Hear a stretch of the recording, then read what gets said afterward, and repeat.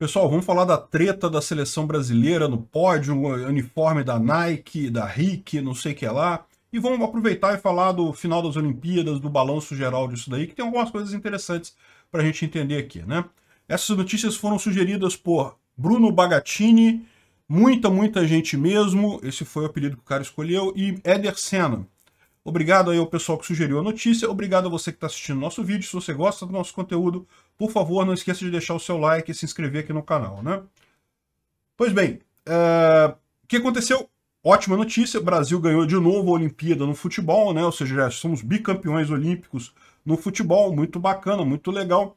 Uh, não é uma coisa que eu particularmente tenha muito interesse em assistir a Olimpíada, mas é sempre divertido ver. E foi um jogo emocionante, né? A gente começou ganhando de 1 a 0 a Espanha empatou, foi para prorrogação. No, no, segundo tempo da prorrogação, o Brasil conseguiu um golzinho e fechou por 2 a 1 Realmente muito bacana, muito merecida a, a medalha de ouro. E chega a ser muito engraçado ver os, os esquerdistas todos desesperados, que não, peraí, na hora de torcer tem que ver, porque tem esporte que é bolsonarista, esporte que não é bolsonarista, tem gente que dá para torcer, tem gente que não pode torcer, não pode ficar feliz. Esse pessoal realmente, meu amigo, tá vendo? Eles já estão entrando no modo é, é, sociedade de leis privadas. Eles querem, na verdade, não uma seleção do Brasil, eles querem uma seleção do PT, uma seleção da esquerda, não sei o que lá.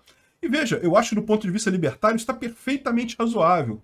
Eles deviam mesmo fazer isso, né? O que deveria acontecer é isso. Cada grupo tem a sua empresa de segurança privada que cuida da segurança dele, que gera as regras conforme eles acham melhor, não tem problema nenhum. É, é, é, o, que é, o que é anacrônico hoje em dia é essa questão de forçar borda, de forçar uma área geográfica para o país. Não, pô, assina aí a, a agência de, de segurança da esquerda, paga imposto da esquerda, segue as regras da esquerda e pronto, e deixa o pessoal que não quer entrar nessa bolha maluca de vocês ficar de fora, né? Enfim. Então, é... e, e, cara, eu tô para te dizer que ia ser até mais interessante uma Olimpíada desse jeito. Já, já pensou? é, time de futebol, time da direita versus time da esquerda. Caramba, bicho, ia fazer muito mais sucesso do que Brasil versus Espanha ou o que for, né? Mas enfim, vamos lá. A, a, grande celeuma que deu aqui foi que na hora da premiação, os jogadores da seleção pegaram o, uh, o casaco do uniforme e amarraram na cintura. Por que, que eles fizeram isso? Né? Uh, uh, aí tem a versão de alguns que dizem, outros dizem outra coisa. É, esse cara aqui dessa, da, da, R7, lógico, é esquerdista, tá falando que não, que é um absurdo, eles romperam o contrato, não sei o que lá. Qual que, é, qual que é o grande problema aqui? A seleção brasileira, a CBF, ela é patrocinada pela Nike. O COI, o Comitê Olímpico Brasileiro, foi patrocinado pela RIC, uma empresa chinesa de material esportivo. Então, era obrigação do COI é que os atletas brasileiros usassem nas cerimônias todas lá o agasalho que tem a marca da RIC em algum lugar, né? O pessoal da CBF, ah, é, a obrigação é usar o agasalho? É, beleza, estão usando o agasalho, tá todo mundo usando o agasalho, amarrado na cintura. Tá, como é que está escrito esse contrato, eu não sei, tem que entender isso daí. É, certamente vai ser o jogo agora, vai ser disputa judicial essa história. O grande pano de fundo aqui é sempre essa questão de que o futebol é tão mais popular que todos os outros esportes numa Olimpíada ele acaba tendo realmente uma vida própria, né? É uma coisa totalmente é meio, meio enxertada na Olimpíada sem realmente integrar ao espírito olímpico, né? Já houve já movimentos para tirar o futebol das Olimpíadas, mas eles sabem que se tirar o futebol das Olimpíadas vai ter um monte de gente a menos vendo a Olimpíada, porque muita gente se interessa só pelo futebol, né? Então tem sempre essa briga. E aqui, no caso, é exatamente isso. É, é, para todos os demais esportes, o COI é, é, muito maior do que as confederações daqueles esportes, né? Natação, vôlei, não sei o que lá, o COI é, é, é central. Para a CBF, não. Para o futebol, não. O futebol, a CBF é muito mais importante do que o COI no final das contas. Então, fica essa briga é, de patrocinadores diferentes. Né? No caso, o patrocinador da seleção brasileira é a Nike e o patrocinador do COI é a RIC que é uma empresa chinesa, né? Bom, é, é, o que, que, eu acho disso? Eu não gosto de quebra de contrato. Eu acho que contrato é contrato. Não importa, ah, mas é chinês, não sei o que lá, eu não gosto da China. É, meu amigo, mas se você assinou um contrato aceitando aqueles termos, tá lá, né? É, o que, que, vai, o que, que vai dar disso daqui? Eu não sei, porque pelo que ele está falando aqui, olha só. O contrato fala que os 301 atletas deveriam usar, os 301 atletas da, do COI, tá, do Comitê Olímpico Brasileiro, que inclui os atletas da CBF, deveriam usar o uniforme PIC obrigatoriamente na Vila Olímpica, viagens e nas cerimônias de abertura e encerramento. Então, repara, não está falando de pódio, não está falando de competição, não está falando de premiação. Eu não sei como é que está escrito esse contrato. Tem que ver o contrato para saber até que nível está isso aí, né?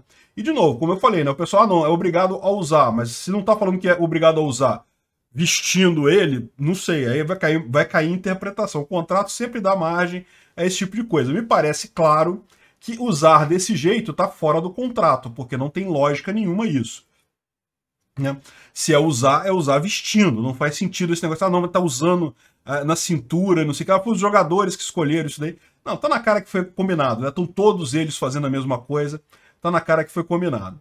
Mas enfim, é, isso é questão contratual. Eles vão decidir lá. Vamos entender, vamos ver como é que faz. O máximo que vai acontecer aí é uma, é uma multa para o COI por conta do, dos jogadores não usarem. Né? Não, não apareceu o logotipo da PIC é, na cintura e acabaram exibindo o logotipo da Nike também. Também tem isso, né? Porque na camisa da seleção brasileira tem um logotipo da Nike, ou seja, não só não cumpriu o contrato com a empresa chinesa, quanto mostrou o contrato de uma outra empresa, e eles fizeram isso porque eles podem, né? Porque no final das contas, a Olimpíada vai fazer o quê? Ah, não, então não, a gente não quer futebol mais aqui não. Tá, e aí? A audiência vai pro saco, né? Enfim, vai ser briga judicial isso daí, né? E, bom, acabou a Olimpíada, foi uma excelente Olimpíada, muito legal, muito divertida, dentro do que aconteceu e do que era possível, né? Porque com essas restrições todas, realmente ficou bem atípica a Olimpíada. Do meu ponto de vista, para nós brasileiros, né, o que ficou mais chato nessa Olimpíada é o fato dela ser de madrugada, de manhã cedinho, então você não tinha muito horário para assistir as coisas, só ficava sabendo depois do que aconteceu, né? Mas ainda assim foi bem divertido. E teve uma coisa bastante interessante aqui no quadro de medalhas. O Brasil ficou na melhor posição dele em toda a história. Né? Pela primeira vez ficou, por exemplo, à frente de Cuba. Cuba, como todo país comunista, tem um treinamento muito forte para atletas, porque isso sempre foi um ponto de propaganda né, do, dos governos comunistas. Sabe-se Deus que tipo de é, exagero em termos de anabolizante o pessoal usa, mas não é só isso não. Com o planejamento centralizado que eles têm lá, eles focam em esportes que dão muitas medalhas, em atletismo, né? Aqui no Brasil, o Brasil foca em esportes coletivos, futebol, vôlei, não sei o que lá, que dá um trabalho danado, uma estrutura enorme, não sei o que lá, e você ganha uma medalha do futebol. Tem não sei quantos atletas que ganham não sei quanto, precisa de toda uma estrutura para ganhar uma medalha, né? Já, sei lá, levantamento de peso ou uh, outros, outros esportes de atletismo, cada esporte é uma medalha, tem várias modalidades e coisa e tal. Então o que esses países comunistas fazem é focar nisso daí, botar muito dinheiro é, para ter uma, um ponto de propaganda. Então, realmente, é um, é um feito. O Brasil está à frente de Cuba e, uh, pela primeira vez na história, e de todos os demais países da América Latina, na verdade. É, lógico, ainda estamos longe aqui dos, do pessoal lá de cima, Estados Unidos, a China. Um outro aspecto que é importante de ressaltar aqui, o Brasil conseguiu essa melhor colocação em Olimpíada depois da extinção do Ministério dos Esportes. É, para quem não lembra, olha aqui, em 2020 o pessoal reclamando, fim do Ministério do Esporte, o Brasil valoriza seus atletas, não sei o que lá.